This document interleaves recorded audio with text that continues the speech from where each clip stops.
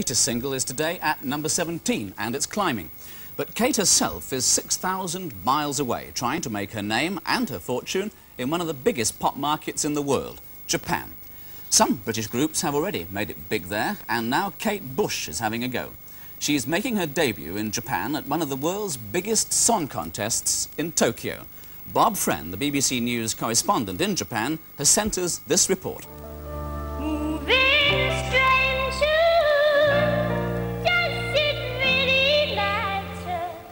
British pop star Kate Bush, her first appearance before a major live audience in a country where they don't speak her language. The Japanese pop market, one of the biggest in the world, is a tough one. But if, as her record company hopes, Kate does become popular here, then the rewards will have made the hard work and the tension all worthwhile.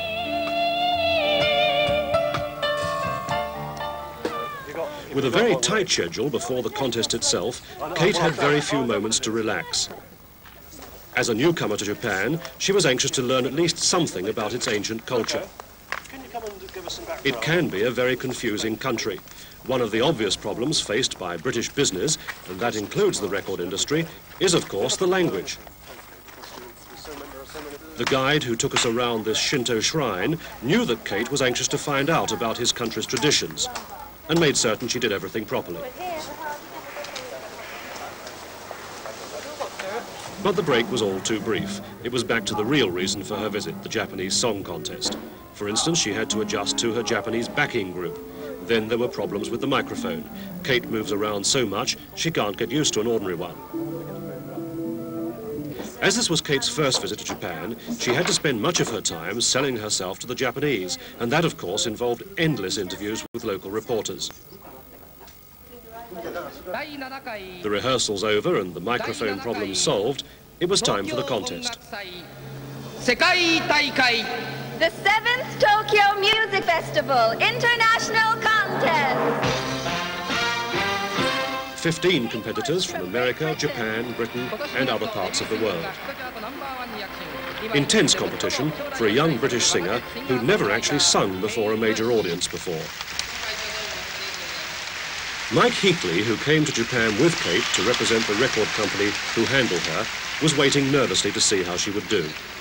One of the obvious problems is, of course, that so far, um, as you say, Kate is not that well known here. And we're hoping that, you know, fingers crossed that the festival will bring off something.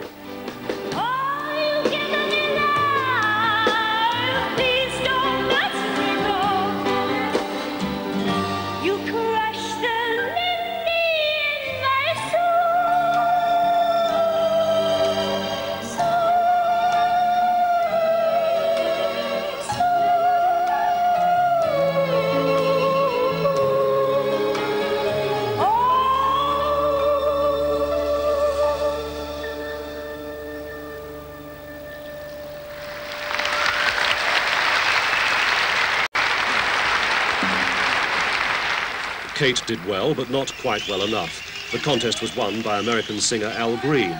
Congratulations, Al Green!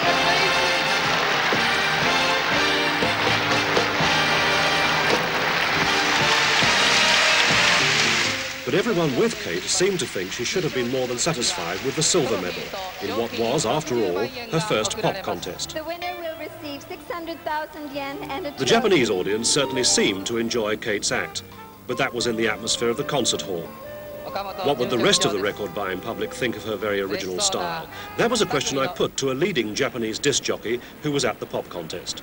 Uh, yes, tonight it's televised all over Japan, so this is her big moment because everyone can, could see her rather than just listen to her, see. And her movement is really unique, and uh, her looks is very good because uh, we're not very big people, and Kate Bush is also not very big, and she's very pretty.